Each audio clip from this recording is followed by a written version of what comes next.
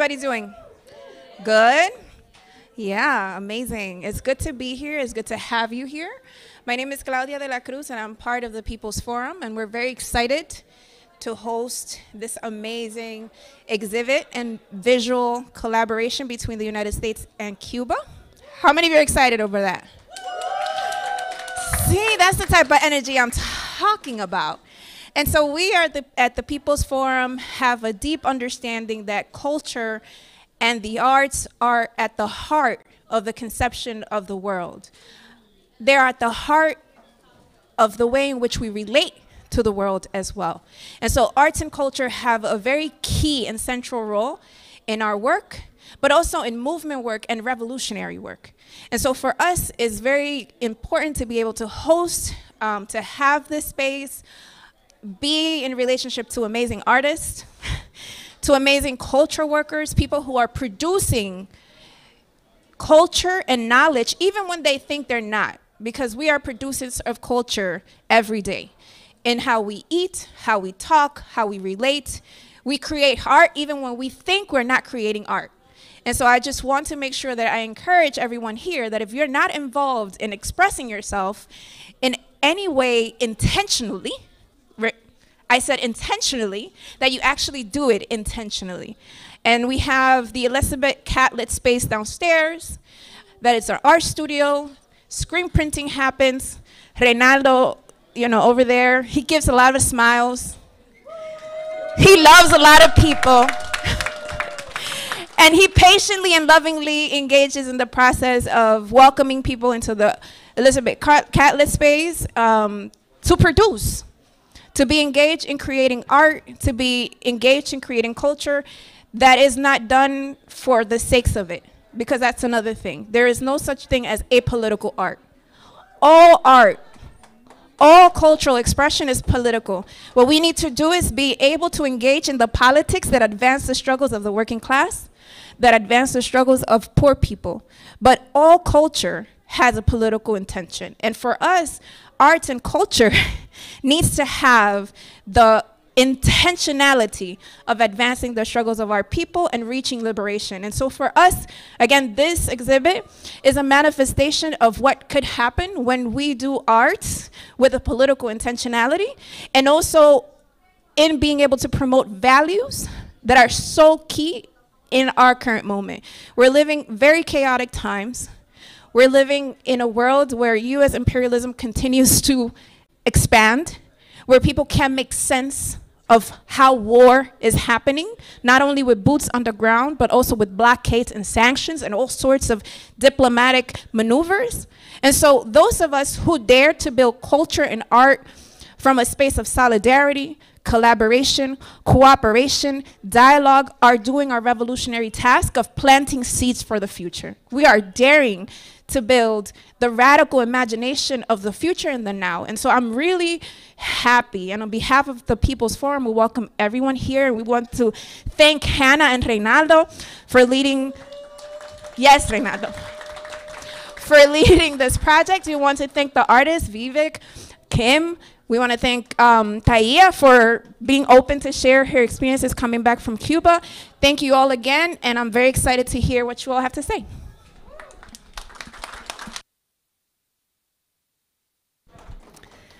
Thank you so much, Claudia, for opening up the space. Um, I'm really, really excited to be able to have this conversation about Líneas Vitales and about art, solidarity, and how we can continue to build projects like this in order to um, continue to build a culture of, of revolutionary art and art that, that transforms culture and that continues to build solidarity. Um, and so thrilled to be to be moderating a discussion between such incredible artists, educators, and thinkers who are who are bringing art and solidarity into the fold and into the future.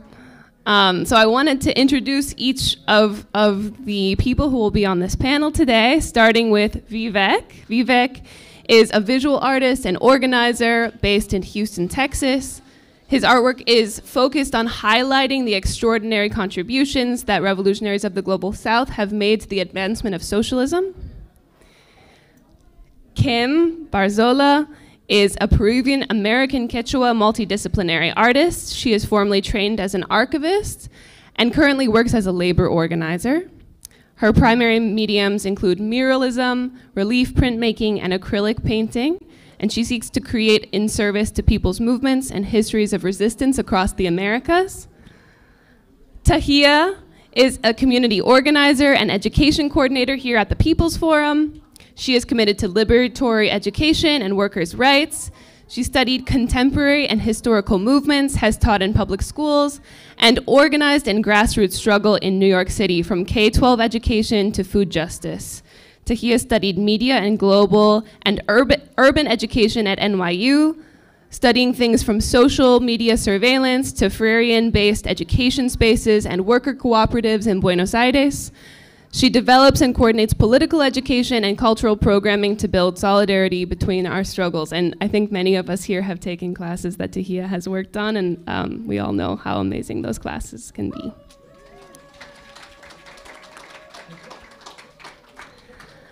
And finally, Reynaldo Garcia Pantaleon.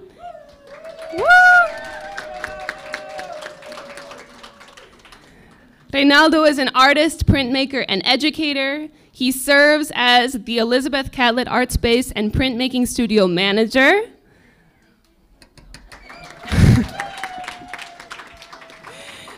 he studied arts at the Universidad Autónoma de Santo Domingo and the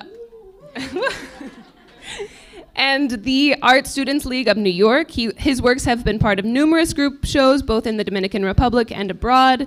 His artworks are part of private collections throughout the world and important public collections, including the Smithsonian in Washington, D.C., El Museo del Barrio, El Museo Latina in Omaha, Nebraska.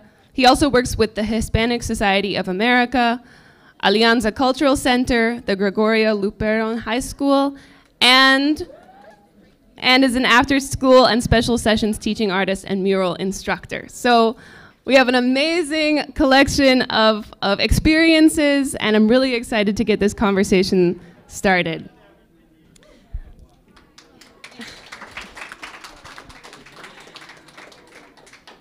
So, first, I would love to open it up for all of you to talk just a little bit about your experience with this ex exhibition, with Vital Lines, Líneas Vitales, whether you are a, a participating artist, a coordinator, or a spectator, tell us a little bit about maybe how the collaborative process worked um, and how distance played a role in your collaboration between the US and Cuba, the themes and processes that led to your finished product, um, and what you're noticing um, in solidarity, how the exhibition has, has played out. If whoever wants to get started in answering that question. You can use that mic.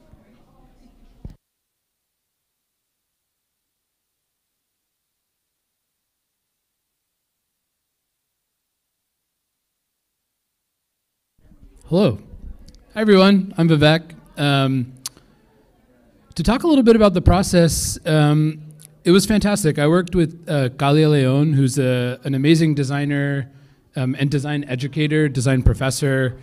Um, distance certainly played a part. Language barrier certainly played a part, but um, I think it forced us to forced us to sort of critique each other's work a little bit more clearly, which was really nice.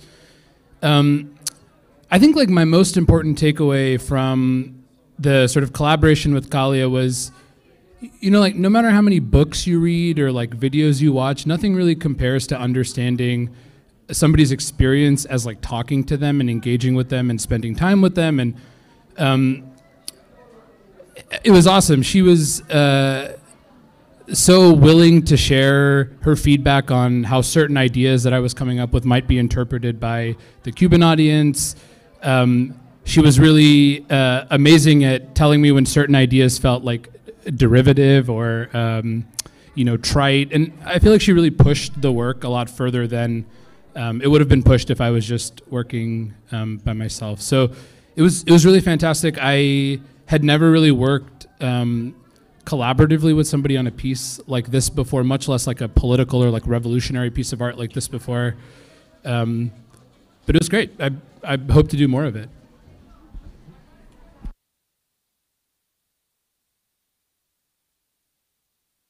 Hello. Um, hey everyone, my name's Kim. Um, like Vivek, I was also one of the participating artists, and yeah, I think similarly, this was my first time even, I think, collaborating on a piece, and so I think what that collaboration would look like was firstly a question mark. Like aesthetically, were we going to be trying to produce something that was a combination of our work? Was it going to be around the same political interpretation of our theme, which was the future?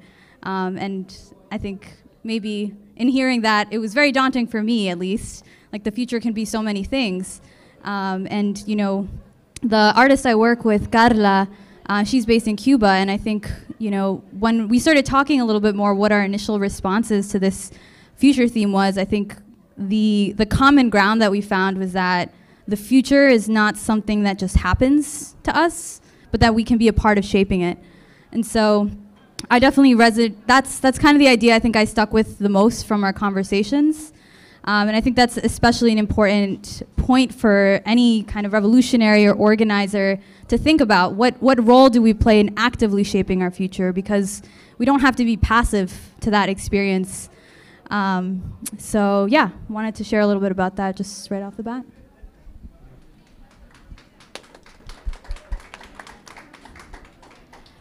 Um, I actually share from a spectator perspective because I was away in the homeland in the third world of Bangladesh um, and arrived back to see uh, all of these pieces incredibly created and the joy in this room right now and the fact that it's filled and that we have like these amazing artists with us is a testament to how rare and how a creation of the future this type of artwork is. Um, I could speak a little bit more to how I saw art as a soul of everything that's done in Cuba uh, a little bit more later. But to see the collaboration with the US, which we are constantly imposing our imperial agenda on what art now looks like for young people in Cuba, and to see this type of um, solidarity shown through the art here is, as a spectator, just like so extremely heartwarming and filling and a.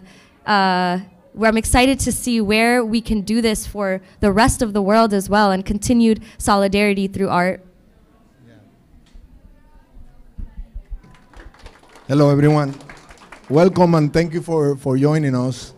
Um, I gotta say, I mean, I have too many things in my head right now because it, it goes from the practical part of how we, you know, as a as the person in charge of printing the designs sent by the different artists, like technically what it, you know, the, the, the challenge that it was to, to try to, to be as, as faithful and, and, and close as possible to virtual uh, designs. I mean, no materic in the sense of only pixels on the, in the screen of a computer. So to translate that into paper, it, it was like, I'm trying to be, I say, again, as I say, like as faithful as possible to what they send. It was a real challenge so, and that's one of the things in my head. Another thing that I had in my head is something that Manolo de los Santos said at Union Square uh, when we rallied to support the Cuban Revolution and what Cuba means to not only uh, Latin America and the Caribbean, uh, but the whole world, being a, a, small island, a small island nation, fighting the, the, the biggest monster and the biggest, uh, more dangerous entity the world has ever seen uh, an entity created through violence, rape, and genocide in the last 300 years. So Manolo said, I wish my friends artists from Cuba can be here and visit New York. In their case, we know it's political. In the case of my friends artists from the Dominican Republic, I know it's economical. So, so many challenges, so many thoughts in my head uh, to what this collaboration actually means uh, at so many levels. Um, but the more important one is that I think the working class can find venues to represent and show their world perception. We cannot and we should not allow to that our stories, our experiences be told by the powerful. So I think that's the main issue. And again, if I don't make any sense, um, I apologize. but I will try to talk as much as possible tonight from my heart and this beautiful experience.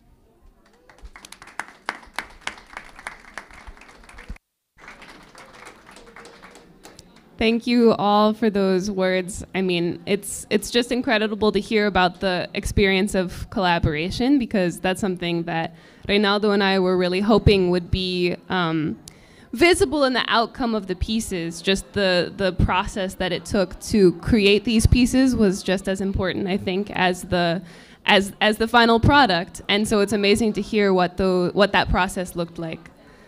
Um, I want to talk a little bit about uh, more about what Kim brought up in terms of being part of shaping the future.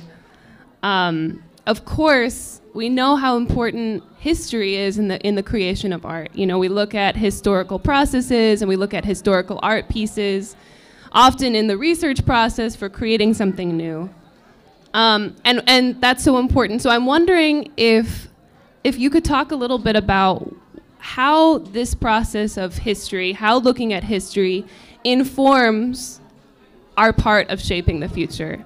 Um, and if, if, you know, in this specific instance, um, if, if for this project you looked specifically at historic references, um, and what elements you think are important to bring into the future today. Um, that's yeah, and then also Tahia, it would be great if you could talk a little bit about the the process that you see, this historic process that you see developing also in in Cuba. If anyone wants to to get us started on talking a little bit about history.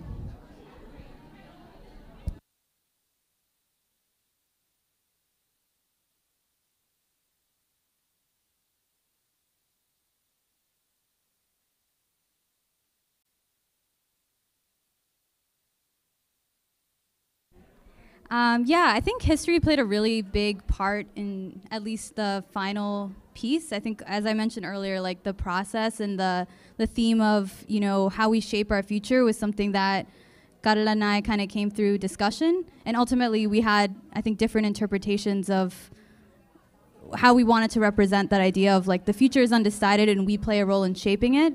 Um, and for me, I think, especially in light of this being a collaboration with a Cuban artist, it, it made sense to look to, to Cuba and Cuba's history, a, a, revolution, a revolutionary history that has always centered, you know, cultural production as a way to carry on this legacy of revolution, not just through the, the generation that made that possible, but now to our current day, right? And so I was reading some old uh, speeches and, and books about, you know, this artistic process, and I came across this uh, quote by Che Guevara, who is, you know, himself not, not Cuban, um, but someone who was deeply in solidarity with the revolutionary process there and, and played such a role that he is now associated as, a, as an icon. There's so much iconography of Che that we see, not just in Cuba, but right in Latin America as a whole.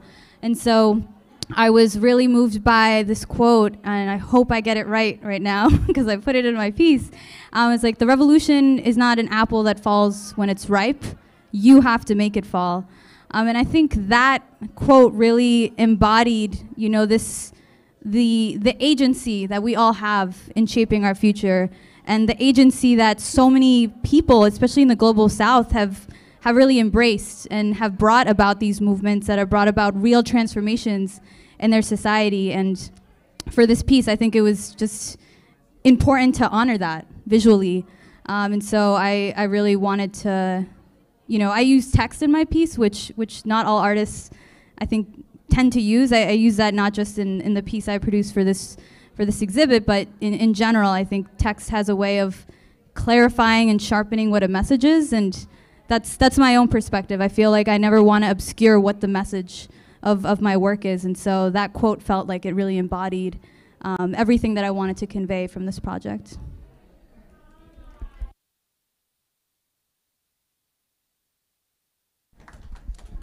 Yeah, I think that's really really well put. I I think like the challenge with maybe especially like revolutionary or political art is um, I know I myself and probably a lot of lot of artists like have a tendency to want to only pay homage to the people that have come before us, um, the people who've laid the foundation, um, sort of defined the the cultural aesthetic, if you will.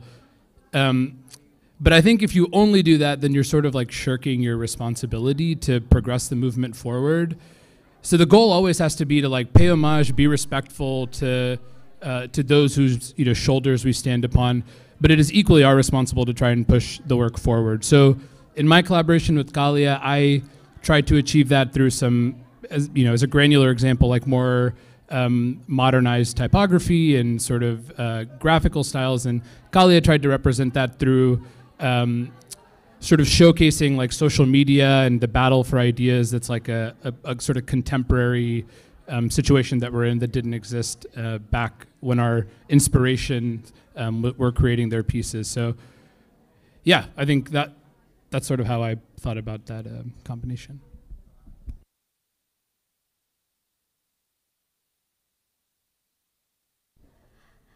I can share a little bit about um, in Cuba the experience of.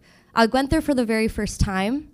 I went with a delegation of organizers and different people embedded in struggle from across the US. And the first thing that struck me is how, in every single space that you walk into in Cuba, you are greeted with music, you are greeted with dance, you are greeted with the revolutionary joy that comes from arts and culture. And it's shown through the history of the dance, through rumba, through um, the different instruments that are used, through the movement, um, through the visual arts that are in the spaces. And so it's always at the forefront. And um, I can share uh, there is a union of intellectuals and artists called UNEAC, um, which upholds that culture is the soul of a nation and that it's absolutely crucial to a socialist process. And Fidel used to sit down with artists and intellectuals and talk about how is cultural work going to progress our movement together. And at the moment, Cuba is at this precipice of a really big population of people under the age of 35 who are creating art and creating works, um, but constantly barraged by US capitalist agenda, by media. Um, given lucrative business opportunities to create certain kinds of media pieces that um, might not be in favor of the revolution, which we can talk about later. But UNEAC and other artistic uh, institutions like this are dedicated to um, like teaching the history of the political art, of grounding it in what why, what its importance is in the revolution, and it's really beautiful. It's really heartwarming and. Um, and that is how I see history and cultural production hand in hand um, in the current Cuban contemporary context.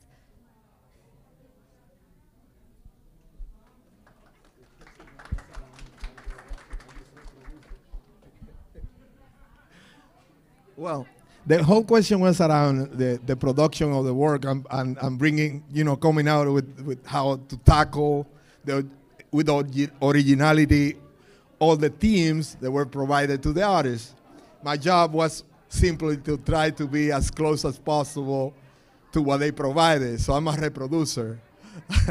so I don't know if I can answer within the context of uh, the conversation, which is the, the Vital Lines show, um, that question.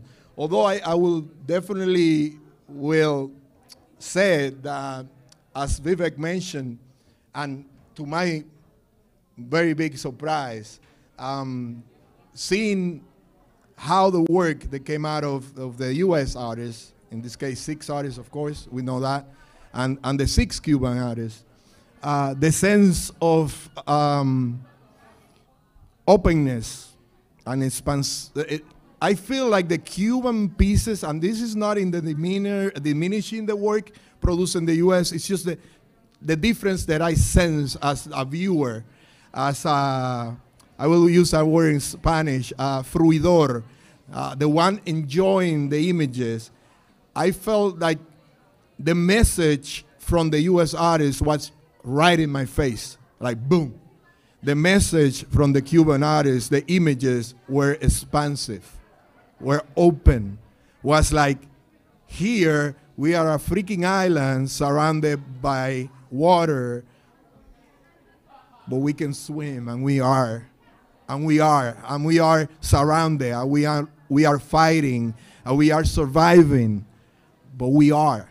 So I don't know if it gives you any, like if it brings anything into the, that part of the conversation, but you know, again, my, my job was to just make sure that those images were as close as possible. And I'm gonna repeat it many times, because I went against my own instinct as, a, as an artist with the stuff that I do. I work differently. I produce and I left the technique, the silk screen, the painting, the drawing, to do whatever it needs to do in the moment. Like I start here and my piece ends here. So I cannot do that with Vivek's or with Kim's or with Kalias. They gave me this, it has to be this on a piece of paper.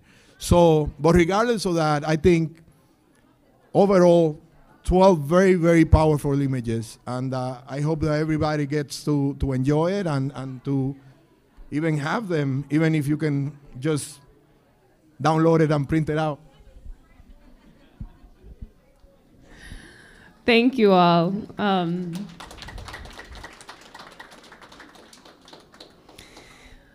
I really, I really appreciate hearing how history has has made an impact on this piece, on these pieces that were produced for for this project, but also, I mean, throughout our our process, um, our always our processes. I think have to include some recognition of history and where where we're coming from, where we're going. But I really appreciated what you said, Vivek, about our responsibility to push the work forward um, from where we stand now, where we move forward, how we how we move forward and push forward. Because as much as much as we can learn from history, there is this. We're in this new place now. We have new we have new things that we're dealing with and new things to respond to. That um, art can be such a powerful way to respond. So. I want to ask one more question here, and then actually we're going to open it up to the audience in case you all have questions uh, for for anyone on the panel. But um, my question is, where do you think we go from here as artists, as scholars, educators? Um, how do we how do we push forward revolutionary art, um, art that builds solidarity? Um, where do you think we go from here?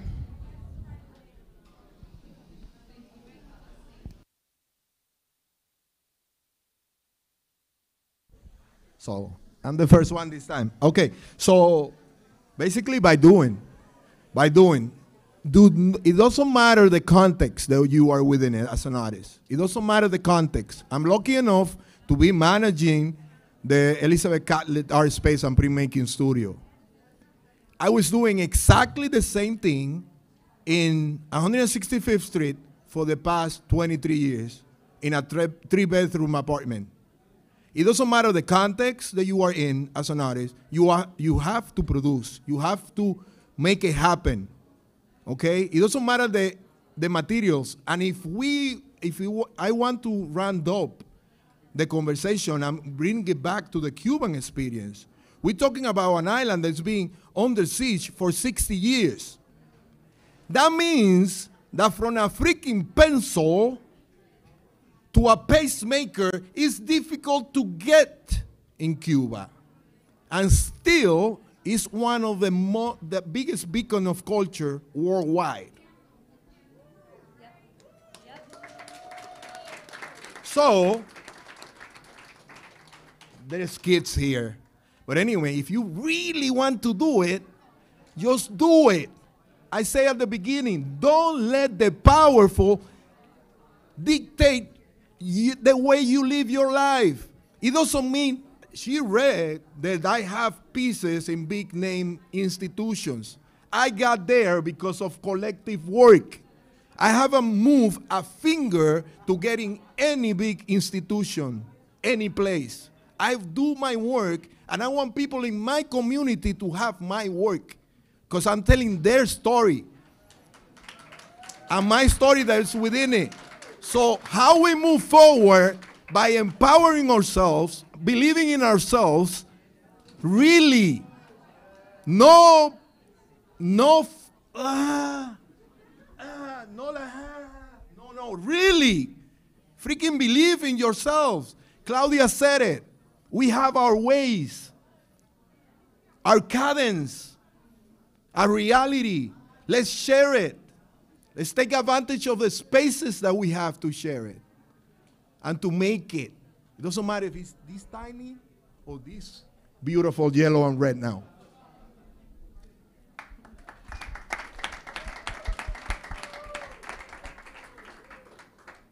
I don't know how to follow that up, but you definitely fired me up and remind me of the really deep responsibility that we have as people living in the imperial core, in the belly of the beast, to the Cuban people. And that is something that was so clear in stepping onto that island. Grocery stores are cleared out.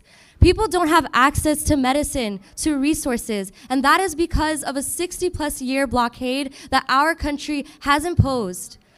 So we have a really deep responsibility to keep doing through art, through education, through organizing in your communities, through fighting for a world that is free from imperialism, through that everyday little conversation that you have with um, a student, with a neighbor, um, through a social media post. You know, we tend to surveil ourselves. Um, in what we say online and in what we stand for because that's kind of how it works, right? But how do we bring this back into like the everyday conversation of young people right now? That we need to end this blockade. Um, how do we circulate this art? That this is what's filling our feeds as opposed to the latest pair of blah blah that we need to buy because that is fed to us. So i that's for me like it's my responsibility. It's our collective responsibility to keep resharing all of this and to keep creating and not be scared to. Um, yeah.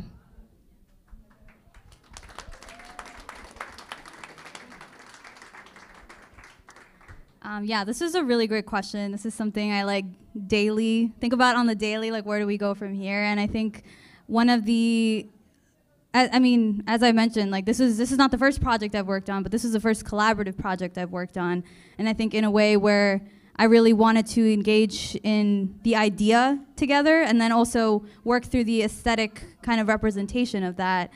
Um, and the thing that I really took from that was the relationship that I built with Karla. Like that's something that I have now. Like we have a relationship, and that's something that even these tools that we're talking about, like social media, like that's a way that we have continued to stay in touch and share and learn from one another, experiencing different global moments together through these channels of communications that we have. And so I think it's important that we continue to forge these these networks and these relationships because those are ultimately what we have to rely on when these moments get harder and they will. Like that's we, we know that right? We're experiencing more and more crisis every day and what we need to kind of continue to strengthen are these relationships. And i think from also just as an artist here in the us it's it's not just you know individually thinking through these ideas by myself but it's this idea of you know collective cultural production with a purpose.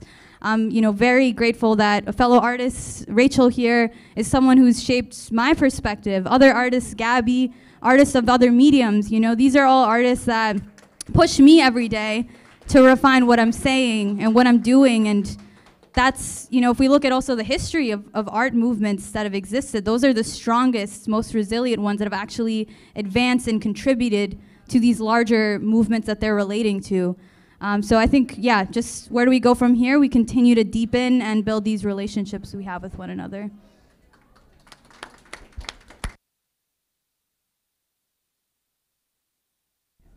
Yeah, I mean, I agree with all of that. I think one thing that uh, I really felt working on this project is like art um, can elicit like a really visceral reaction from people in a way that like books or like long essays sometimes don't have the same capability to do. Of course, those things are important, and you need all of it to, you know, build some sort of cultural front. But um, you see something beautiful or interesting, you pick it up, and that can open your mind to like a world of ideas that you hadn't considered before.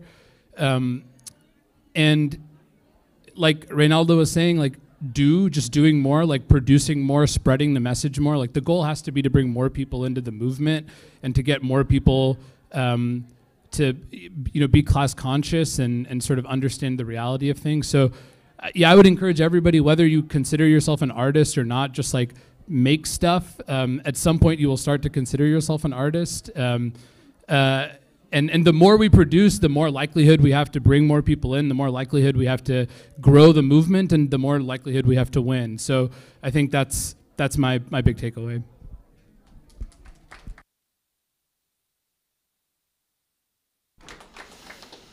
Thank you all. Yeah, I, I mean, I can't emphasize enough what all of you are saying in terms of this being the beginning of something or, or continuing to grow what, we, what we're starting. I think when Ronaldo and I were, were thinking about what this project could look like, we were, we were really imagining like this as the very first step or the very first step in, in what can become so many more different projects. This is a project in solidarity with Cuba, but there are, there are so many more projects to be to be done, so many more mediums to explore because printmaking is an amazing medium, but we can reach people in different ways with different mediums, whether it's dance or theater or or uh, photography. All, all of the artistic mediums can produce different results and can can continue to build momentum and get people excited. So thank you all.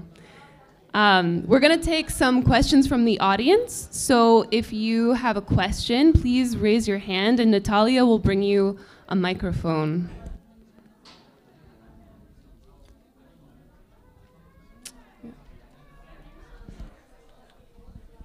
Hello. Hi.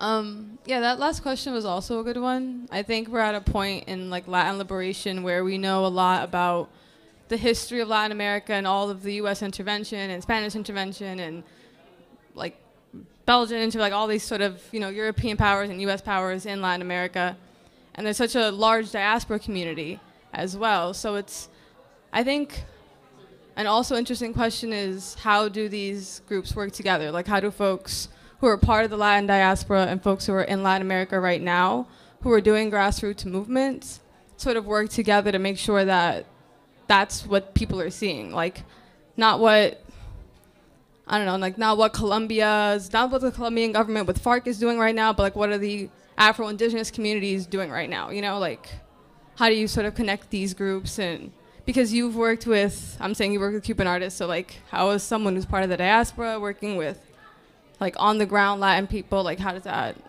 like how's that relationship building, and like how can we move that and develop that community even bigger and better to to further that liberation.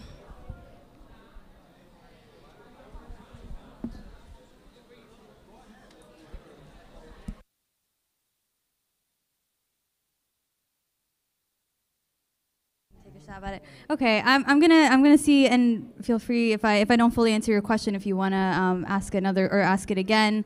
I mean, I think part of how we grow who the audience is, and maybe that's what you're getting at. I think something that I, I like to focus on in the work that I produce is thinking about what are the cultural references, the way people see themselves through media or through culture, and really learning from that and kind of uh, I think what Vivek was saying, like pushing that further. How do I represent that through the the experiences that I've had or the way I've seen those things play out and really represent them in the medium that I am working in. I think for this it's printmaking, but for for other types of work it's it's public art, it's muralism, and that's what really, you know, pulls people in. And so I think yeah, that that process of, of selection, even what we're we're choosing to represent is something that is done with the audience in mind, with who we're working with or who we're attempting to reach.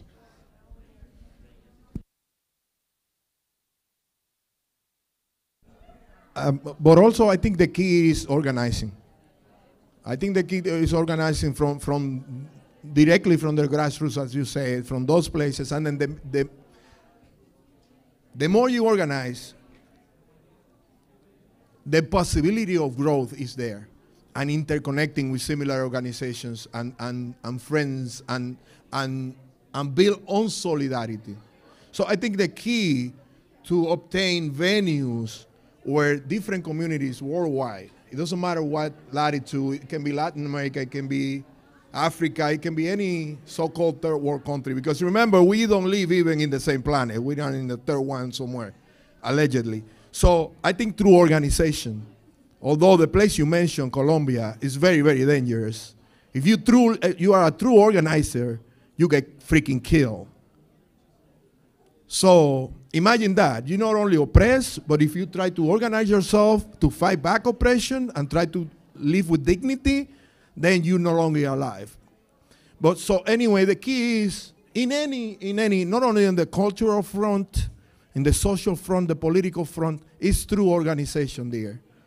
And organization will bring connections and, and, and solidarity and building up of new bridges and new avenues to get to have breathing room and spaces.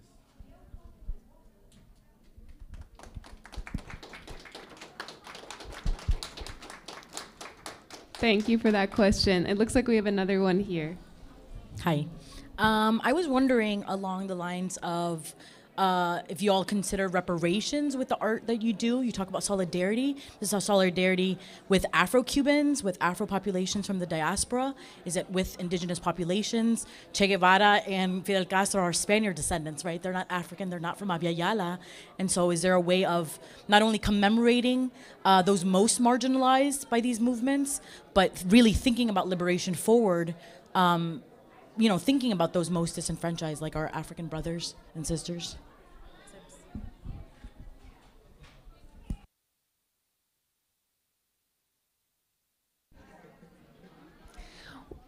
I, can I can say that I think that in a, the conception of this project, we're thinking a lot about building bridges and about how we how we work together to make sure everyone gets free.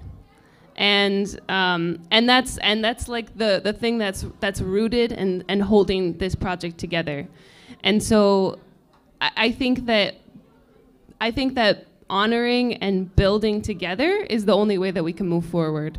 And that's, that, that's the kind of work that we need to continue to build through collaboration um, and, and through projects that, that honor everyone and, and especially people who um, are historically marginalized. And uh, yeah, that's how we, that, that we have to continue to build together. Does anyone else have responses?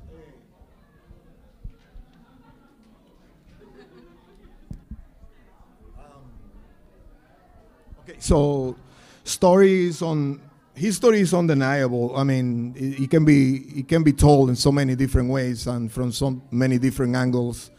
Um, you know, and it's undeniable that Fidel Castro and Che Guevara were from heavily European blood, and uh, so do I.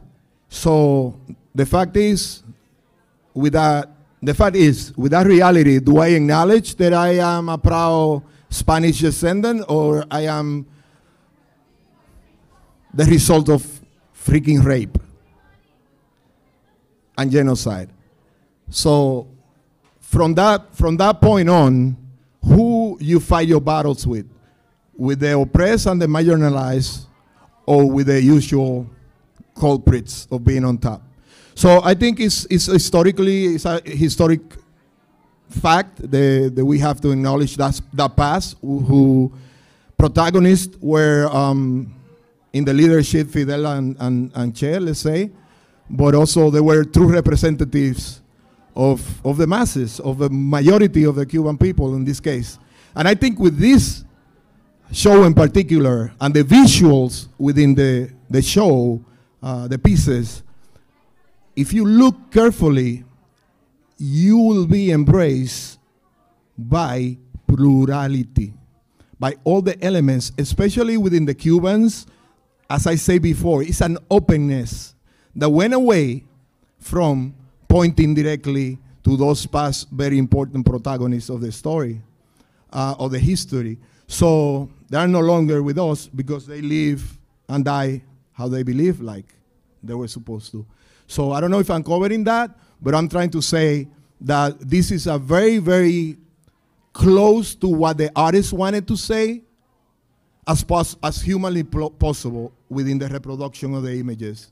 So open in the invitation to the artist, you come in, you treat your team, and in, this, in the case of Kim, for instance, the beautiful Afro American lady that is saying, make that apple fall, is surrounded by the three sisters, the way our Native Americans used to plant the land and save and heal the land for more production.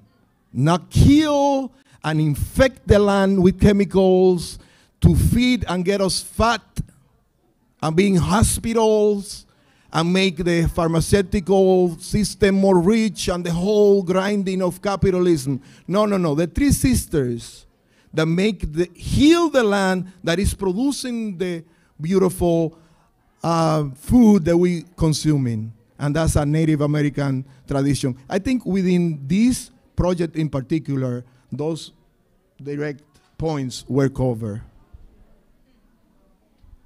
Thank you. I think we have time for one or two more questions. So, good night, first of all. Thank you for this beautiful artwork. My question is about all the, the work. I don't know who is who. I will go to the, the store after to, to figure out. I'm just admiring the beauty. Uh, I, I had a feeling that there's a lot of inspiration on women, on the women's struggles, on some feminism in, in the works, even the one in with Fidel.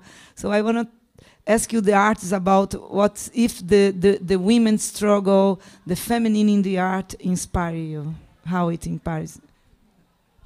Just as a follow-up, also, if you could talk about who did what and like what wor- what artists are from Cuba and what artists are from here.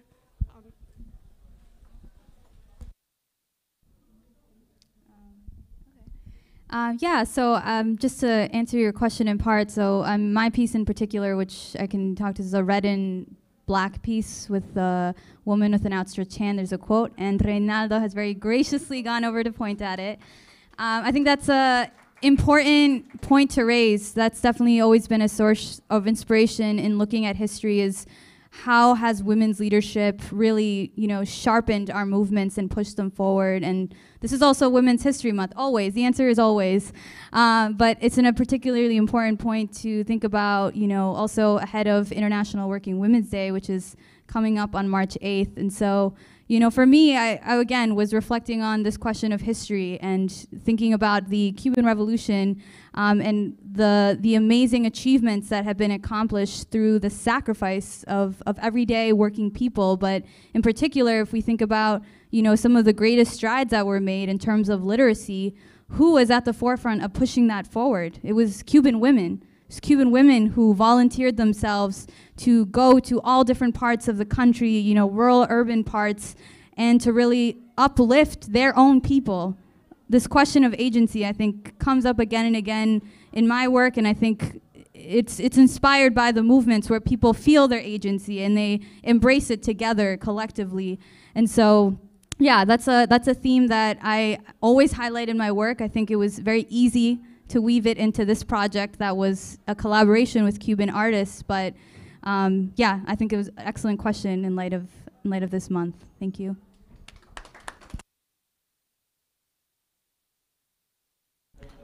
And then to answer the question about the pieces, so the the sign to the right of the exhibition has all the details about all the artists and and their names and the titles of the pieces, but just generally the way the, the, the way the wall is set up is that on the top row, we start with a US based artist, and then the next to the right is a Cuban artist, and then US, and then Cuban artist. And then it swaps. So the, the second row is a Cuban artist, Greta, and then um, one after the other as well.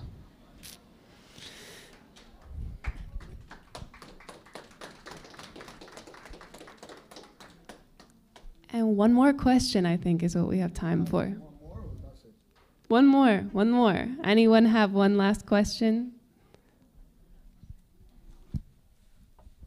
It's not really a question, but just wanted to express my appreciation again as a fellow artist. And, uh, you know, often the word revolutionary gets used to describe so much work. Um, and then you realize they say revolution, but they don't mean in support of revolution. They don't mean in connection to a people's struggle. So I want to say thank you for putting this together. Thank you for sharing your work, for allowing Cuban artists to also share their work here in a place where we often don't get to hear their voices, the voices of black and brown revolutionaries from Cuba, um, and let alone see their art and culture, which is thriving in Cuba thanks to the socialist revolution, largely in part. um, so yeah, I just I hope that we can all continue to find ways to do more of this, right? For the revolutionaries who are artists and um, the artists who want to become revolutionaries and the workers who maybe don't yet see themselves as either, but feel like they gravitate to this work and they gravitate to their, these movements that, that we all find a, a place to, to bring art, culture, and revolution, revolutionary work and organizing together. So thank you so much.